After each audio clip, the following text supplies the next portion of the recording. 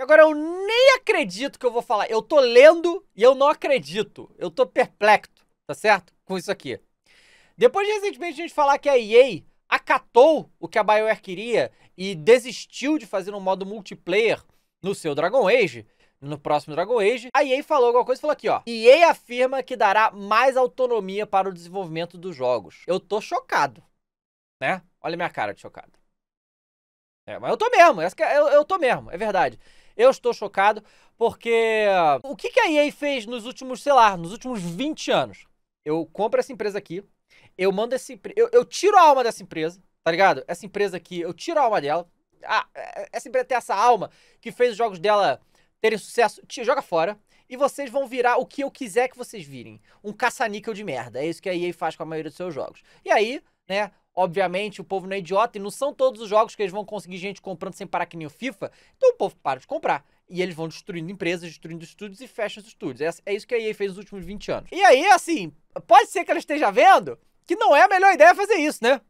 Pois é, tá aqui, ó. Com o cancelamento de Anthem e sucesso de título da Respawn, que é uma das poucas que no meio desse caos da EA consegue fazer bons jogos, chefe de estúdio da EA afirma que pretende garantir maior liberdade criativa dos desenvolvedores, olha só. A Laura Mille, que a gente falou várias vezes aqui, eu não sei se fala assim o nome dela, tô lendo Mille, mas pode ser outro nome que faz aqui. O chefe de estúdio da EA afirmou que a empresa está caminhando para garantir maior liberdade criativa dos seus estúdios. Em entrevista ao IGN, a atual CSO comentou sobre o futuro da EA e como supervisionar os mais de 6 mil funcionários trabalhando nos mais diversos projetos né? E tá aqui, isso aqui é, não é de hoje que a imagem da EA é carregada de estigma de monetizar títulos com práticas predatórias, forçando estúdios a inserir esse formato de monetização dentro de seus títulos, muitas vezes descaracterizando franquias inteiras e transformando algumas delas em jogos gachapon, é formato extremamente comum no mercado mobile, mas com a diferença de terem preços cheios e orçamentos de produções altíssimos, tá?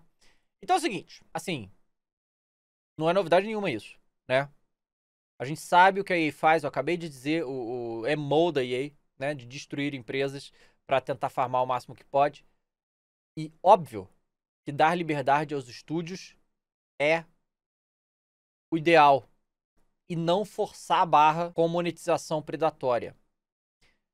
Porque assim, se você quer fazer uma monetização predatória no seu, no seu jogo, que ele seja de graça, né?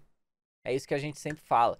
Você quer botar loot box, que o jogo seja de graça, mas aí não, ela bota 300 contra o jogo e ainda bota um milhão de monetizações dentro do jogo. Então assim, só o tempo vai dizer.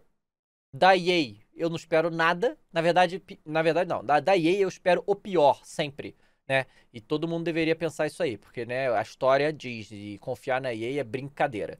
Vamos ver então nos próximos jogos o que que a EA vai. Vamos ver. Vamos ver.